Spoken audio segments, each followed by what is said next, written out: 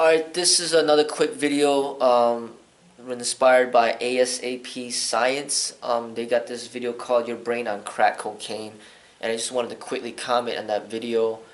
And um, basically also I'll put the, this, I'll try to put the, the video in the description section this video, you know, the link to it. Um, but, you know, the video is talking about like how crack affects your brain. And I've never taken crack before. And even though in this community that the Kwoon is in, um, or the martial arts school is in, I'm, I'm pretty sure there's a, quite a bit of people out there, you know, by this school that do take crack. Um, but I've never really known much of many people like directly that actually take crack or that have taken crack.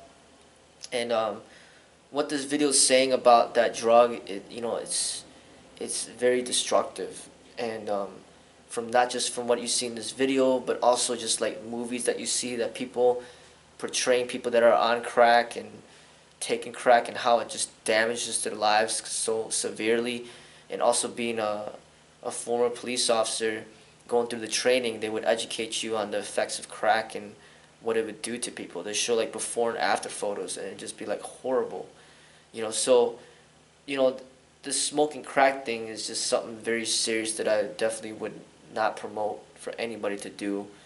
Um, you know, there's this whole thing, whole debate going on about like marijuana and weed and how there's health benefits to it and how they should legalize it and all this other stuff. And there's so many people that I've run across that smoke weed. Um, you know, when I was employed as an officer, you constantly run into people that smoke weed. Sometimes walking around this neighborhood, I would smell it around.